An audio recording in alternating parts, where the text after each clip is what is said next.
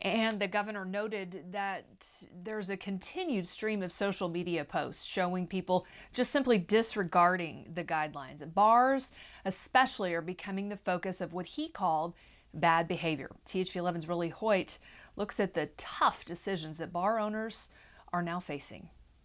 Cozy booths and social distancing don't sound like things that we're ever going to be able to mix, but after a spring of being cooped up, a lot of bar owners figured, hey, we got to try and give it a go. But with cases on the rise in Arkansas and pressures coming from other states, it's looking like dive bars may be headed for a dive. And some places have already turned off the taps. I don't want to be that. Did you hear that Pizza D is the hotspot? Ever think you would hear a bar owner say that? Well, that's what happens when a pandemic changes the meaning of the term hotspot. Mike Brown has been trying to do everything safely so far.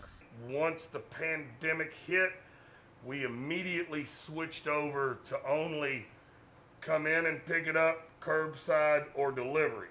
He says it started to change the image of the hole in the wall on Markham, but then cases took off, with bars taking the blame in Florida and Texas. Then this past week, our numbers just went boom and crashed.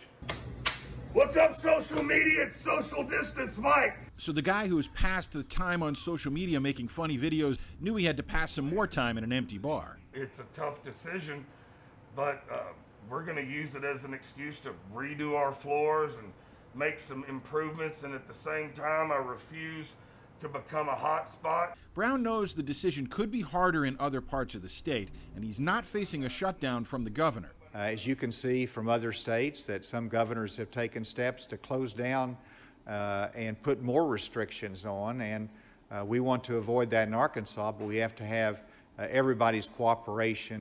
Social distance Mike is way ahead of you, Governor, and doing the best he can. There's nothing that we can do except love our fellow man try and take care of each other, socially distance, wash your hands, and do what's right. In Little Rock, Rolly Hoyt, THV 11 News. Rolly, thank you so much. If you want to see the full breakdown of today's COVID 19 update, just text the word facts to 501 376 1111 and we'll send the, the latest numbers and latest information right to your phone. For now,